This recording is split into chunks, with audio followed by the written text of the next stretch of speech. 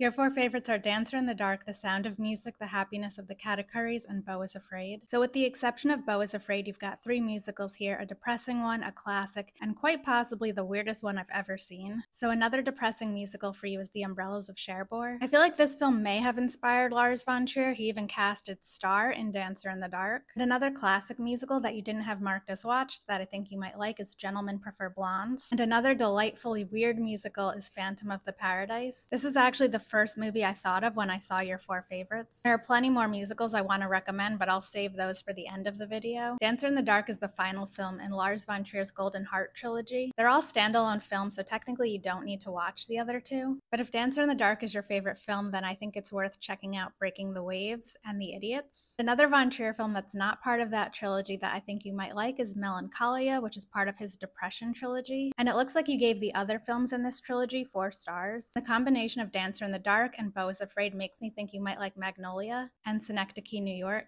The combination of the happiness of the Katakuris and Beau is Afraid makes me think you'd probably enjoy Santa Sangre. The happiness of the Katakuris is a loose remake of The Quiet Family, and honestly, I can't even choose a favorite between the two. I enjoyed both, and they're so different that it's difficult to compare them. The Wolf House also came to mind because of the stop motion animation and the happiness of the Katakuris. Okay, now back to the musicals. Another depressing musical for you is All That Jazz. Another classic musical is My Fair Lady. And another weird musical is Annette. Actually, I'm just gonna list off all the other musicals I wrote down that you didn't have marked as watched. An American in Paris, 42nd Street, Tick Tick Boom, Chicago, Funny Face, Cabaret, Meet Me in St. Louis, Mamma Mia, The Young Girls of Rochefort, Pink Floyd The Wall, Anna and the Apocalypse, True Stories, Nashville, and Team America World Police.